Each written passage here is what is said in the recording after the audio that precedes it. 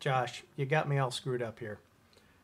I go away for a week. I look, and there are so many people that have signed out. It's just, it's great that you've got so many people, but now I feel like it's homework trying to catch up. Uh, but you are my brother. I will put the effort into it to try to make this work. I'm happy I got some press. Uh, not a lot of it, and you were not shown on the Hollywood Reporter, but you know, you got to start small, and then maybe you might go up a little bit. Eventually, it'll it'll come together. a few things I noticed. Uh, Steven Weber, we need to get you a tech. I mean, just hugging the pillow ain't going to help things. We need to get somebody so actually can press the buttons for you, if nothing else. So, so let's work on that, Steven. Uh, Steve Agee,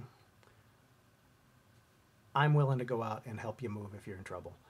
I, I don't mind. I'm in Boston. I'll hop a red eye, go out there, help you move for a couple hours, then I'll hop it back, go to work.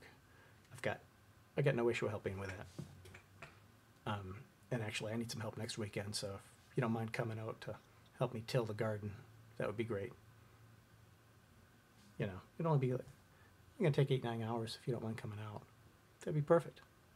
So I, I know we have this bond here now, so you don't mind coming out and help me, you know, getting dirty in the soil.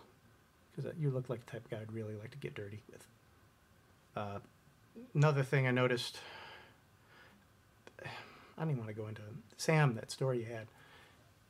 It was frightening, to say the least, and I'll be having nightmares.